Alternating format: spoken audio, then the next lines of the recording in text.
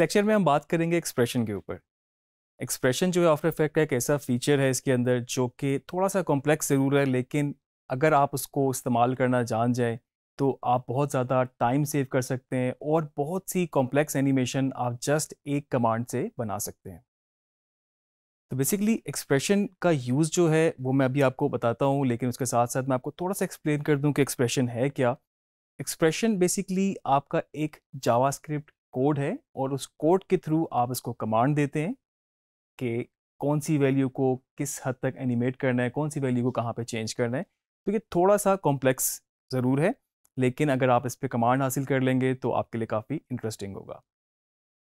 Normally कुछ expression आपको यहाँ पर बने बनाए भी मिलेंगे और आप उनकी प्रॉपर्टीज़ में जाके उनकी वैल्यूज़ को चेंज करके भी काम चला सकते हैं। और कुछ एक्सप्रेशन इस तरह के हैं जो कि आपको खुद से कमांड लगानी पड़ सकती है और आपको मल्टीपल कमांड्स देनी पड़ सकती हैं तो उसमें थोड़ी सी प्रोग्रामिंग इन्वॉल्व है। अब इसके लिए ज़रूरी नहीं है कि आपको जावा स्क्रिप्ट आता हो या फिर आपको प्रॉपर प्रोग्रामिंग की कमांड्स पता हो, उसके बगैर भी आपका काम चल सकता है, क्योंकि जैसे कि मैंने पहले बताया कि आपके पास कुछ बाय डिफ़ॉल्ट भी इसमें कुछ एक्सप्रेशंस मौजूद हैं, और आपको फर्दर इंटरनेट वगैरह से भी बहुत सारे एक्सप्रेशंस की ऐसी कमांड मिल जाएँगी, जो कि जस्ट कॉपी पेस्ट करने से ही आप इसको अप्लाई कर सकते हैं। बाकी जो इसके और कुछ यूजेज हैं, उस पर मैं अगर आपको कुछ और बताता चलूँ कि एक तो आपका टाइम बचाता है, जैसे मैंने आपको पहले बताया, बहुत ज़्यादा कम्प्लेक्स एनिमेशन बहुत ज़्यादा टाइम टेकिंग एनिमेशन आप बहुत क्विकली बना सकते हैं। आप डिफरेंट प्रॉपर्टीज़ को लिंक कर सकते हैं, आप इन्फोग्राफिक्स ग्राफ्स पाई चार्ट्स वगैरह बड़ा इजीली इससे क्रिएट कर सकते हैं और मल्टीपल लेयर्स पे आप एक साथ मतलब एक ही कमांड से कम्प्लेक्स एनिमेशन बना सकते हैं। और फर्दर इन कमांड्स को इन प्रीसेट्स को आप सेव करके आगे भी यूज़ कर सकते हैं। uh, अगर अभी भी आपको एक्सप्रेशन के ऊपर ज़्यादा क्लैरिटी नहीं है तो इस वक्त हम इसको प्रैक्टिकली करके भी देखेंगे और हम ये करते हैं कि हम एक काउंटर बनाते हैं जो कि हम एक्सप्रेशन से बनाएँगे ना कि हम उसको मैनुअली एनिमेट करेंगे। तो आइए इसको हम देखते हैं।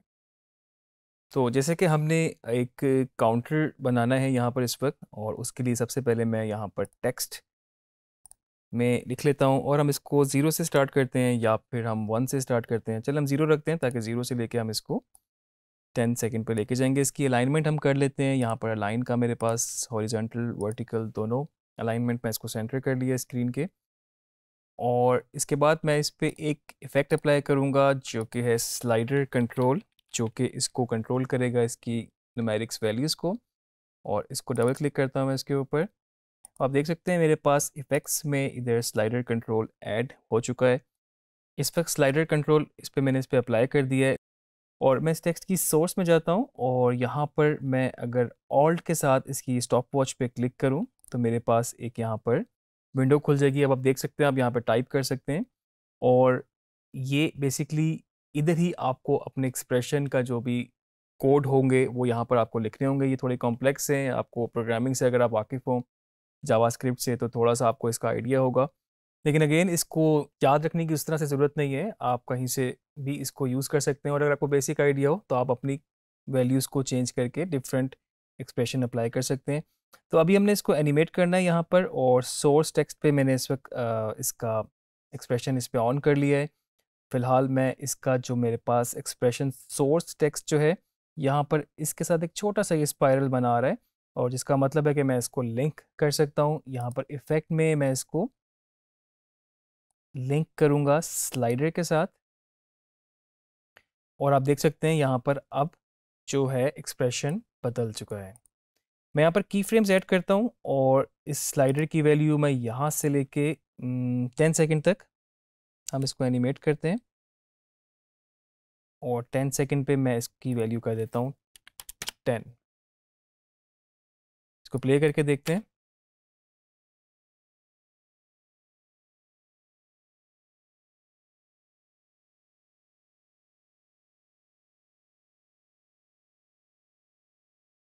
और आप देख सकते हैं कि इस तरह से जब हमने इसकी वैल्यू को एनिमेट किया, हमने इसको स्लाइडर को एग्जैक्टली दस सेकंड के की फ्रेम पे जाके हमने यहाँ पर टेन की वैल्यू ऐड की यहाँ पर और आप देख सकते हैं कि ज़ीरो से लेके ये टेन सेकंड तक आपका ये यहाँ पर काउंटर चल रहा है, जो कि पर सेकंड के हिसाब से ही मूव हो रहा है। लेकिन आप देख सकते हैं कि इसके आगे जो हमारे पास और पॉइंट्स में डिजिट आ रहे हैं, अगर हम चाहें तो इसको भी कम कर सकते हैं। अभी कहीं पर ज़्यादा आ रहे हैं, कहीं पर कम आ रहे हैं। तो इसके लिए हम यहाँ पर एक्सप्रेशन में जाएँगे अपने और यहाँ पर इसके एंड में हम लिखेंगे dot value to fix basically ये कमांड है। लेकिन इसके लिखने का तरीका, क्योंकि प्रोग्रामिंग इन्वॉल्व है पूरी वैल्यू के बाद हम एक और डॉट डालेंगे। टू लिखेंगे फिक्स्ड एफ़ बड़ा होगा कैप्स में। आप देख रहे हैं कि वो इस वक्त आपको दे भी रहे वहाँ पर और इसके बाद हम यहाँ पर ब्रैकेट ऐड करेंगे और इसके अंदर जो हम वैल्यू डालेंगे, क्योंकि वैल्यू हम फिक्स कर रहे हैं यहाँ पर, जो एक्सप्रेशन था हमारा, अगर मैं यहाँ पर टू डालता हूँ वैल्यू तो इस वक्त जो पॉइंट्स के आगे सिर्फ़ आपके पास टू डिजिट ही ऐड होंगे। आप देख सकते हैं कि इस वक्त जो रैंडमली बहुत ज़्यादा आगे आपके पास पॉइंट्स के आगे जो नंबर आ रहे थे वो सिर्फ़ टू हो गए। तो ये जो वैल्यू टू फिक्स की जो कमांड है या जो एक्सप्रेशन है, इसकी वजह से यहाँ पर आपके पास सिर्फ़ दो आ रहे हैं। अगर मैं इसको वन कर दूँगा तो आप देख सकते हैं कि वन के बाद मैं ये पे क्लिक करूँगा खाली जगह पर और इसके बाद आपके पास एक डेसिमल पॉइंट आगे आ रहा है।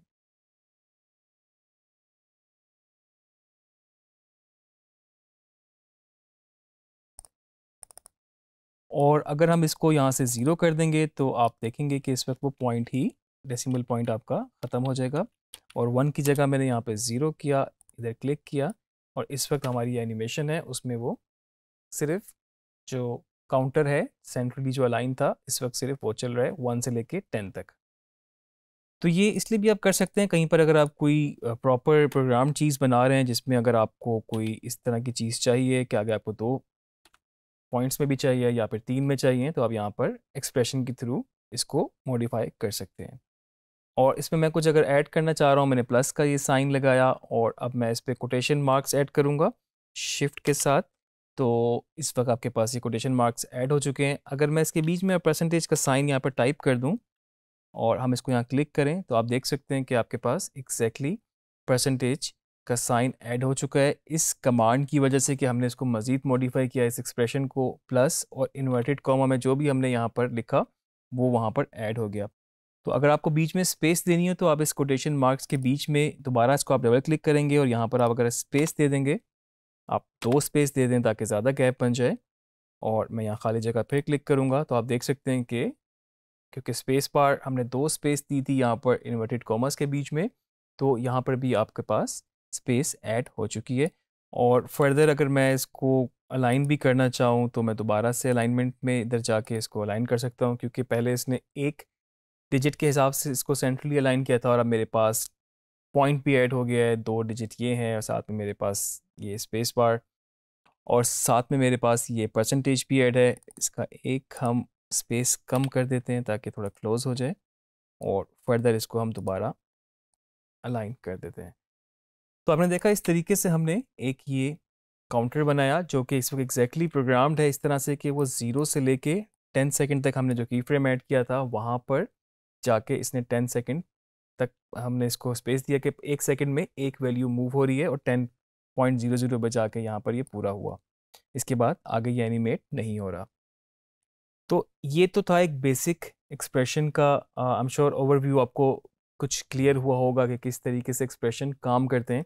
और ऑब्वियसली ये कम्प्लेक्स ज़रूर हैं। आप देख सकते हैं कि हमने इसमें जो वैल्यूज़ ऐड की और जिस तरीके से आपने इस पर डिफरेंट कमांड देनी है। लेकिन आप अगर थोड़ा सा इस चीज़ को भी नोटिस करें कि इन छोटी छोटी चीज़ों से आप बड़े ज़बरदस्त रिज़ल्ट अचीव कर सकते हैं। सिर्फ़ आपको अगर थोड़ा सा आइडिया हो इन चीज़ों का तो आपके लिए काफ़ी आसानी हो सकती है अपनी कॉम्प्लेक्स एनिमेशन बनाने में। हम कुछ और भी एक्सप्रेशन इस पर ट्राई करते हैं। और किसी शेप पे हम कुछ ट्राई कर लेते हैं, क्योंकि आपको पता है जिस तरह के कोई भी वैल्यूज़ जो एनिमेट हो सकती हैं, वहाँ पर एक्सप्रेशन आपका काम कर सकता है। तो मैं एक यहाँ पर शेप ऐड कर लेता हूँ मे बी मैं यहाँ पर सिंपल एक रेक्टेंगल यहाँ पे ले लेता हूँ, और इसको मैं इस, इसके नीचे यहाँ पर, नीचे लेयर में बेसिकली हम इसको एडजस्ट करते हैं।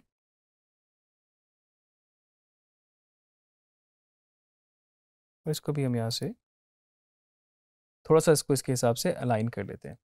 इस शेप में मेरे पास यहाँ पर ऑप्शन है कि फिल की और अगर मैं यहाँ पर एक एक्सप्रेशन अप्लाई करता हूँ इसके फिल में, इसके कलर में और मैं चाहता हूँ इसके कलर चेंज हो, यहाँ पर हम अब कलर पे एक लगाते हैं एक्सप्रेशन, ऑल्ट के साथ मुझे क्लिक करना होगा इस स्टॉप वॉच के ऊपर। आप देख सकते हैं यहाँ पर आपके पास ऑप्शन आ गई है कि आप यहाँ पर अपना जो एक्सप्रेशन है उसको लिख सकते हैं। तो हम रैंडमली कलर चेंज करते हैं और रैंडम अगर मैं यहाँ टाइप करूँ तो ये इस वक्त मेरे पास ये ऑप्शन भी आ गई है। मैं इस पर क्लिक कर देता हूँ।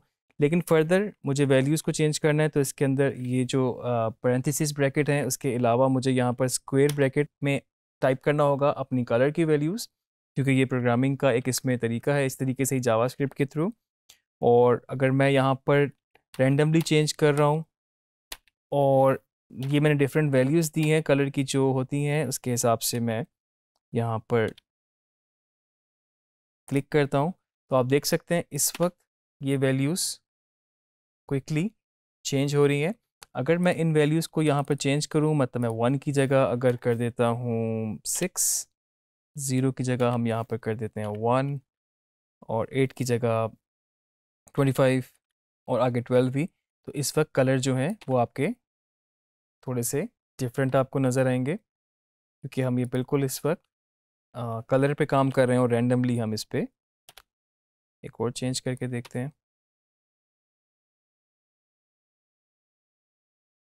तो आप देख रहे हैं कि मुझे की फ्रेम लगा के उस तरह से कलर्स को बारी बारी चेंज नहीं करना पड़ा और अगर आप इसको किसी और बेहतर तरीके से कैलकुलेटेड तरीके से अगर करते हैं तो आपको फिर कंट्रोल आपका होगा कि आप किस तरीके से आप उसके कलर्स चेंज करना चाहते हैं। अभी हमने रैंडमली अप्लाई किया था इवन के एक्सप्रेशन भी ये रैंडम ही है और आगे हमने कलर की वैल्यूज़ दी, वो भी हमने फ़िलहाल रैंडम ही कलर्स की वैल्यूज़ दी हैं।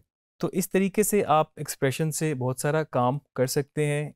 विगल एक्सप्रेशन सबसे अच्छी एक बड़ी एग्जांपल है कि आपको पता लग जाएगा किस तरीके से वो आपका टाइम सेव कर सकता है। और फर्दर अगर थोड़ा सा इसको मज़ीद कॉम्प्लिकेटेड करते जाएँ तो आप अपने ग्राफ्स में पाई चार्ट्स में और और बहुत सारी चीज़ों में इसको यूटिलाइज कर सकते हैं। अगर आप इसको प्रोग्रामिंग को जावास्क्रिप्ट को उस तरह से नहीं जानते तो अगेन मैं बता रहा हूँ कि कोई मसला नहीं है। आप कुछ बेसिक कमांड याद रखते हुए, कुछ इसके अंदर बिल्ट इन जो एक्सप्रेशन हैं, उनके थ्रू भी काम करते हुए आप बहुत सारी चीज़ें अचीव कर सकते हैं। इसकी प्रैक्टिस करें, इसको एक्सप्लोर करें। मुझे उम्मीद है कि जब आप प्रैक्टिस करेंगे तो बहुत सारी चीज़ें आपको और भी पता लगती जाएँगी और आपका कमांड मज़ीद बेहतर होती जाएगी एक्सप्रेशन पे। और फर्दर लेक्चर्स में हम और चीज़ों के ऊपर बात करेंगे। अभी आप अपनी प्रैक्टिस कंटिन्यू रखें।